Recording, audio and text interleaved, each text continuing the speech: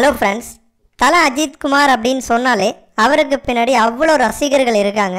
தல அஜித்குமாரோட பவர் என்ன அப்படிங்கிறது அவருடைய திரைப்படங்கள் ரிலீஸ் ஆகும் பொழுது கண்டிப்பாக எல்லாருக்குமே தெரியும்.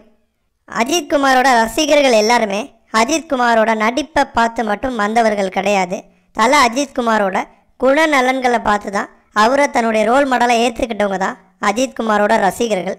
ஒரு சில வருடங்களுக்கு முன்பு தல அஜித் ஃபேமஸ் ஆகாத ஒரு டைமில் ஒரு சில விளம்பரங்களில் அஜித் குமார் நடிச்சிருக்காரு. ஆனால் தான் ஒரு லெவலுக்கு வந்த பிறகு எந்த ஒரு விளம்பரத்துலையுமே அஜித்குமார் நடித்தது கிடையாது. தனக்கு அரசியலே வேணாம் அப்படின்னு சொல்லக்கூடிய ஒரு நடிகர். பொது இடங்களில் எப்படி நடந்துக்கணும் அப்படின்னு யோசித்து அதற்கேற்ற மாதிரி நடந்துக்குவார்.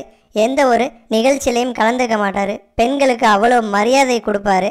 தன்னுடைய ரசிகர் மன்றத்தை கலைச்சிட்டாரு.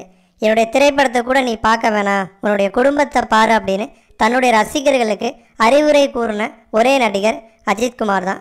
சில வருடங்களுக்கு முன்பு ரெண்டாயிரத்தி பத்தில் அஜித்குமாரோட அசல் திரைப்படம் ரிலீஸ் ஆனது. அசல் திரைப்படத்தோட ஆடியோ வெளியீட்டு விழாவில் அஜித்குமாரும் அவருடைய காதல் மனைவி ஷாலினியும் கலந்துக்கிட்டாங்க அஜித்குமாருக்கு எந்த அளவு ரசிகர்கள் மரியாதை கொடுக்குறாங்களோ அதே அளவு மரியாதையை ஷாலினிக்கும் கொடுக்குறாங்க.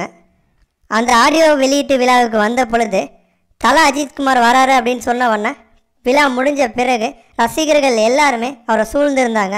அப்போ ஒரு ரசிகர் ஷாலினி கிட்ட தவறாக நடந்துக்க முயற்சி செஞ்சுருக்காரு. அதை பார்த்துட்டு தல அஜித்தோட மற்ற ரசிகர்கள் எல்லாருமே அவர் அடி பின்னி எடுத்திருக்காங்க.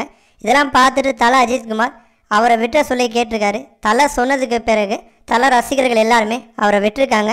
இருந்தாலுமே கூட ஷாலினி ரொம்பவே கோவமாக காரில் போய் உட்காந்துருக்காங்க பல பேர் சூழ்ந்திருக்கும் பொழுது இந்த மாதிரி கீழ் இந்த மாதிரி நடந்த பிறகு புது நிகழ்ச்சி அப்படின்னு சொன்னாலே அறவே தவிர்க்கிறாங்களாம் ஷாலினி? இந்த வீடியோ உங்களுக்கு பிடிச்சிருந்துச்சு அப்படின்னா லைக் பண்ணுங்கள் ஷேர் பண்ணுங்கள் மறக்காமல் தமிழ் ஸ்பைசி சேனலை சப்ஸ்கிரைப் பண்ணுங்கள்